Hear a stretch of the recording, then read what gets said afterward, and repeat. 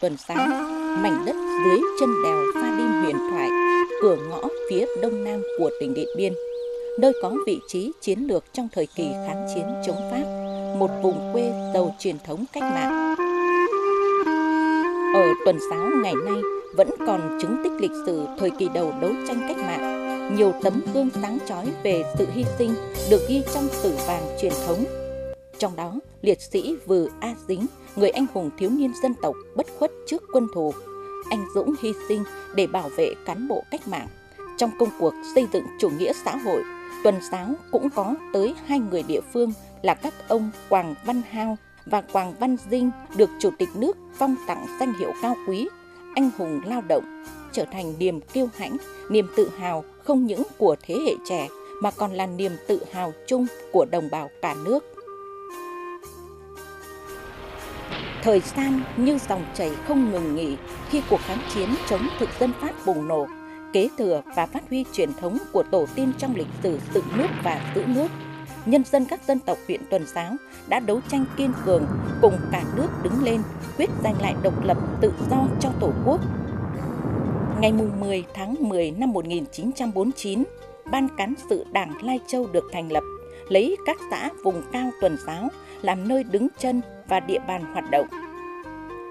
Chưa tròn một năm, Ban Cán sự Đảng tỉnh thành lập trước yêu cầu của sự nghiệp cách mạng ngày 1 tháng 8 năm 1950, chi bộ đảng Tuần Giáo được ra mắt là sự kiện có ý nghĩa rất quan trọng, đặt nền móng cho việc thành lập đảng bộ huyện sau này. Từ đây, mỗi bước đi, mỗi thắng lợi giành được của huyện Tuần Giáo đều gắn liền với sự lãnh đạo trực tiếp của chi bộ, tiền thân của đảng bộ huyện ngày nay. Từ vùng cao, chi bộ đã tích cực tuyên truyền mở rộng căn cứ cách mạng xuống vùng thấp, bồi dưỡng các quần chúng trung kiên. Và những đảng viên đầu tiên người địa phương thực sự là những hạt giống tốt của phong trào cách mạng, giúp cho việc củng cố phát triển cơ sở của ta ở huyện Tuần Giáo được vững chắc và rộng khắp. Trong các năm 1951, 1952, địch tổ chức nhiều trận càn, có những trận chúng huy động hàng chục lính và sĩ quan chỉ huy vào đánh phá căn cứ địa Pú Nhung. Không hề tỏ ra nao núng hay khiếp sợ trước kẻ thù xâm lược, chàng thanh niên sùng phái sinh đã sớm được giác ngộ, vận động nhân dân dựa vào địa thế rừng núi hiểm trở đối phó với địch. Có sự lãnh đạo của chi bộ đảng, sự hậu thuẫn che chở của nhân dân, chỉ bằng bẫy đá, cung nỏ và vũ khí thô sơ, lực lượng dân quân du kích địa phương đã kiên cường bám đất bám dân, tiêu hao sinh lực địch, bảo vệ an toàn khu căn cứ. Tháng 10 năm 1952, Bộ Chính trị Trung ương Đảng quyết định mở chiến dịch Tây Bắc nhằm tiêu diệt sinh lực địch, giải phóng nhân dân và một phần đất đai ở Tây Bắc. Lực lượng vũ trang và nhân dân các dân tộc trong huyện ai nấy đều vô cùng phấn khởi. Nhiều thư quyết tâm của quân và dân huyện Tuần Giáo được gửi cho Trung ương Đảng, Chính phủ và Hồ Chủ tịch, hứa kề vai sát cánh cùng bộ đội chủ lực chiến đấu để giải phóng quê hương. Ngày 17 tháng 11 năm 1952, Trung đoàn 148 tiến đánh địch tại Luân Châu, nay là xã Mường Mùn, phá tan tuyến phòng thủ của địch từ thị xã Lai Châu đi tuần giáo. Trong lúc địch đang hoang mang dao động, không còn đường rút chạy, thì ngày 20 tháng 11 năm 1952, bộ đội chủ lực của ta đã vượt sông Đà tiến vào tuần giáo, phối hợp với Trung đoàn 148 và nhân dân địa phương, tổ chức truy quét địch. Hàng chục sĩ quan, binh lính Pháp, hàng trăm lính ngụy bị bắt sống và tiêu diệt, thu nhiều súng ống, đạn dược, quân trang, quân dụng. Các chi châu, châu đoàn, thống lý phản động hầu hết bị bắt và đưa đi cải tạo. Tuần giáo chính thức được giải phóng.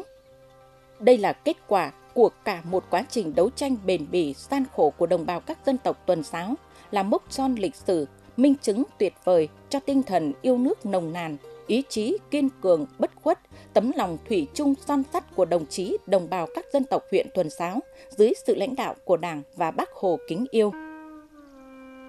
Ngay sau chiến dịch Tây Bắc thắng lợi, chi bộ Đảng Tuần Giáo đã tập trung lãnh đạo chỉ đạo toàn dân xây dựng củng cố chính quyền cách mạng, thành lập Ủy ban kháng chiến hành chính huyện và Ủy ban kháng chiến hành chính ở 20 xã trên địa bàn.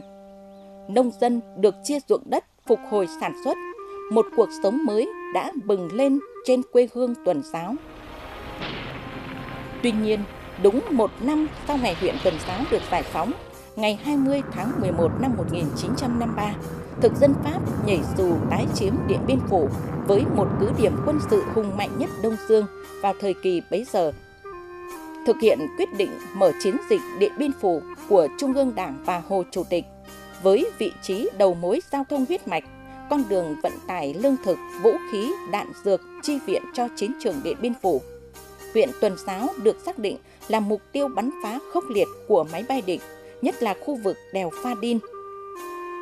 Một lần nữa, ngoài vị trí tiền tuyến chia lửa cho chiến trường Điện Biên Phủ, huyện Tuần Giáo còn mang trên mình một trọng trách mới, hậu phương vững chắc, tạo thế và lực cho quân và dân ta tiếp tục tiến công làm nên chiến thắng Điện Biên Phủ, kết thúc 9 năm kháng chiến trường kỳ của dân tộc. Trong mỗi thời kỳ cách mạng, mỗi giai đoạn lịch sử, Đảng bộ huyện Tuần Giáo không ngừng trưởng thành về mọi mặt, thường xuyên chăm lo xây dựng các tổ chức cơ sở đảng vững mạnh cả về chính trị, tư tưởng và tổ chức. Đảng bộ huyện Tuần Giáo luôn xác định công tác xây dựng đảng là then chốt, phát triển kinh tế là nhiệm vụ trọng tâm, xây dựng văn hóa là nền tảng tinh thần của xã hội. Lấy đảm bảo an sinh xã hội, nâng cao chất lượng đời sống nhân dân là mục tiêu và động lực phát triển – tập trung xây dựng củng cố tổ chức cơ sở đảng trong sạch vững mạnh, nâng cao năng lực lãnh đạo sức chiến đấu của tổ chức cơ sở đảng gắn với xây dựng củng cố tổ chức hệ thống chính trị ở cơ sở. Thực hiện nghiêm quy chế hoạt động và sinh hoạt tổ chức cơ sở đảng, chăm lo củng cố kiện toàn về tổ chức các cấp ủy cơ sở phù hợp với chức năng nhiệm vụ từng loại hình tổ chức cơ sở đảng. Tăng cường nắm tình hình của các tầng lớp nhân dân, kịp thời đề xuất tham mưu cấp ủy có chủ trương lãnh đạo, chỉ đạo phù hợp với thực tiễn. Trong những năm qua, Đảng bộ huyện đã tích cực chỉ đạo triển khai thực hiện tốt chỉ thị 05 CTTVK của Bộ Chính trị về tiếp tục đẩy mạnh việc học tập và làm theo tư tưởng đạo đức phong cách Hồ Chí Minh, gắn với thực hiện nghị quyết Trung ương 4 khóa 11, 12 về xây dựng Đảng, tạo sự lan tỏa sâu rộng đến toàn thể cán bộ, đảng viên và các tầng lớp nhân dân trên địa bàn công tác kiểm tra giám sát được tăng cường, góp phần giữ gìn sự trong sạch, đoàn kết, thống nhất trong toàn Đảng bộ. Cấp ủy các cấp quan tâm lãnh đạo chỉ đạo và trực tiếp thực hiện các nhiệm vụ kiểm tra giám sát theo đúng quy định của điều lệ Đảng,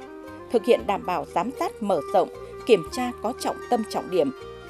Hoạt động Hội đồng Nhân dân, Ủy ban Nhân dân, Mặt trận Tổ quốc và các đoàn thể được đổi mới nội dung và phương pháp hoạt động, tạo điều kiện để nhân dân phát huy quyền làm chủ, tích cực phát triển kinh tế, xóa đói, giảm nghèo. Đến huyện Tuần Giáo vào thời điểm này, ai cũng đều dễ dàng nhận thấy nơi đây đã hoàn toàn có một diện mạo mới. Hầu hết các tuyến giao thông được trải nhựa hoặc bê tông hóa. Từ trung tâm huyện lỵ đến các bản vùng cao, ngày càng xuất hiện nhiều hơn những ngôi nhà mới kiên cố khang trang trong mọi hoàn cảnh, huyện Tuần Giáo đều thể hiện rất rõ sự năng động của mảnh đất cửa ngõ. Nhiều xã bản vùng cao vốn trước đây chỉ được biết đến bởi sự nghèo đói, thì nay từng bước được đánh thức tiềm năng, chuyển đổi khó khăn thành lợi thế, tạo thêm thu nhập. Các ngành dịch vụ tăng trưởng bình quân 14% trên năm, thương mại phát triển cả về mạng lưới và quy mô, chất lượng và doanh thu đáp ứng nhu cầu được phục vụ nhân dân – chương trình xóa đói giảm nghèo, giải quyết việc làm, các chính sách an sinh xã hội thực hiện có hiệu quả.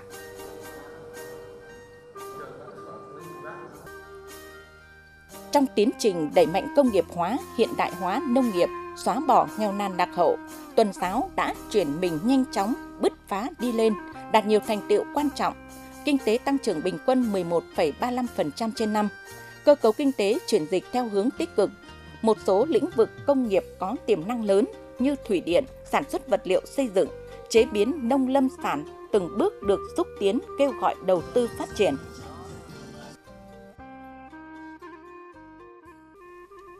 Đẩy mạnh sự nghiệp công nghiệp hóa, hiện đại hóa, xây dựng đô thị văn minh hiện đại và coi đó là một trong những khâu đột phá, huyện Tuần Giáo tiếp tục tăng cường thu hút, khai thác mọi nguồn lực, triển khai xây dựng các công trình trọng yếu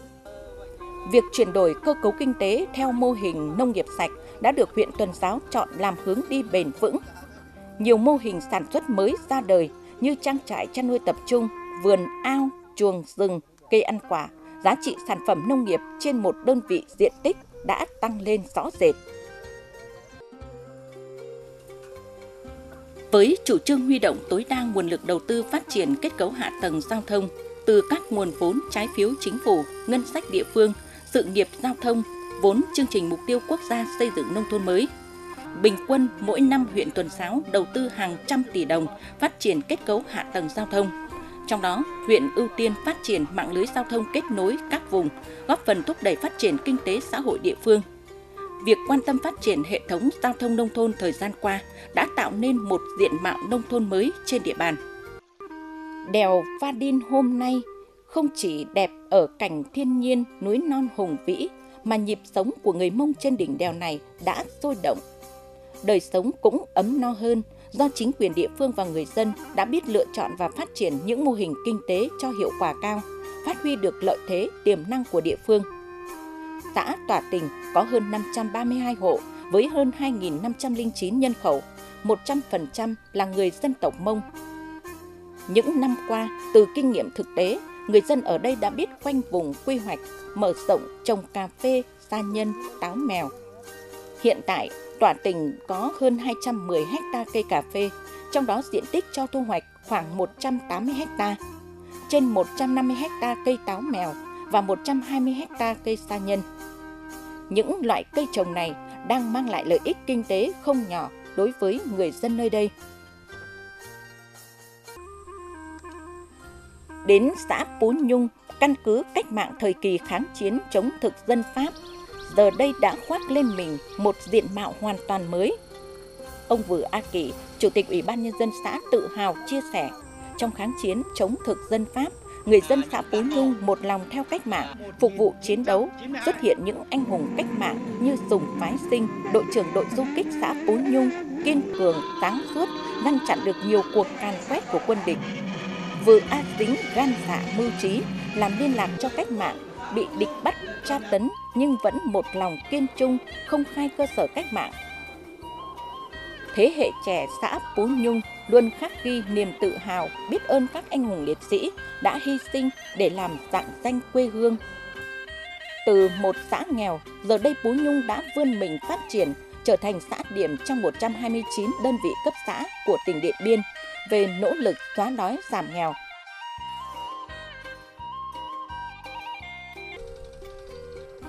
Sau gần 10 năm thực hiện chương trình mục tiêu quốc gia xây dựng nông thôn mới, huyện Tuần Giáo đạt được một số kết quả đáng khích lệ Chương trình từng bước trở thành phong trào sôi nổi và rộng khắp, diện mạo nông thôn thay đổi theo chiều hướng tích cực. Sự nghiệp giáo dục đào tạo cũng đạt nhiều kết quả tích cực, mạng lưới trường lớp được duy trì ổn định, các lớp học mầm non, tiểu học được mở đến điểm bản và hệ thống các trường phổ thông dân tộc bán trú cơ bản đảm bảo đáp ứng nhu cầu học tập cho học sinh vùng cao, vùng đặc biệt khó khăn. 100% các trường học được xây dựng khang trang, huyện Tuần Giáo đã hoàn thành phổ cập giáo dục mầm non 5 tuổi, giữ vững phổ cập giáo dục tiểu học đúng độ tuổi. 100% giáo viên đạt chuẩn và trên chuẩn về trình độ. Số trường đạt chuẩn quốc gia được nâng dần qua từng năm. Hôm nay đây, chúng ta có thể dễ dàng cảm nhận được sự đổi thay kỳ diệu của huyện Tuần Giáo. Hình ảnh những bản làng nghèo đói lúc giúp ở nông thôn, các dãy nhà thấp bé tiêu tụy đã lùi vào dĩ vãng nhường chỗ cho những con đường trải nhựa, trải bê tông kéo dài như vô tận. Những công trình kiến trúc vươn cao với những khối phố khang trang hiện đại đã nâng tầm vị thế, khẳng định sự phát triển của mảnh đất cửa ngõ. Có được vóc dáng và diện mạo ngày hôm nay, đó là kết quả của bao công sức, mồ hôi và xương máu, ý chí và nghị lực của rất nhiều thế hệ Tất cả những điều đó xứng đáng được ghi nhận và là niềm tự hào của nhân dân các dân tộc huyện Tuần Giáo.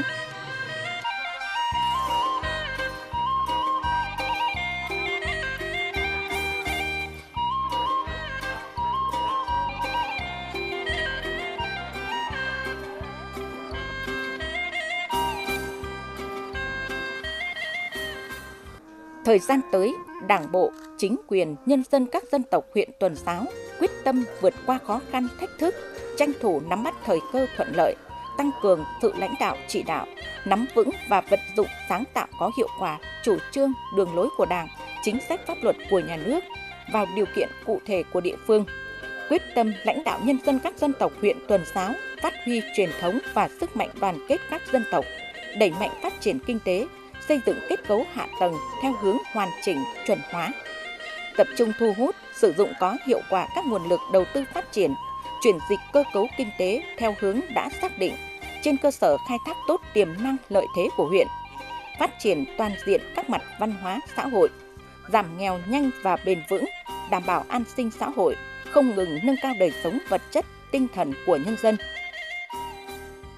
Giữ vững quốc phòng an ninh, đảm bảo ổn định chính trị, trật tự an toàn xã hội,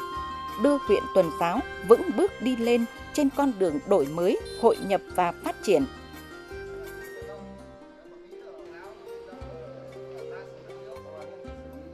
trên đường vươn tới các tiêu chí của một đô thị khang trang, văn minh hiện đại khu vực cửa ngõ. Đảng bộ và chính quyền, nhân dân các dân tộc huyện Tuần Giáo càng thấy rõ hơn trách nhiệm to lớn của mình. Đã có một tuần giáo anh dũng hào hùng trong chiến đấu chống giặc ngoại xâm, bảo vệ độc lập tổ quốc, thì chắc chắn sẽ có một tuần giáo thành công trong công cuộc đổi mới. Chắc chắn sẽ có một tuần giáo văn minh hiện đại xứng tầm với chiến thắng Điện Biên Phủ cả hôm nay và mai sau.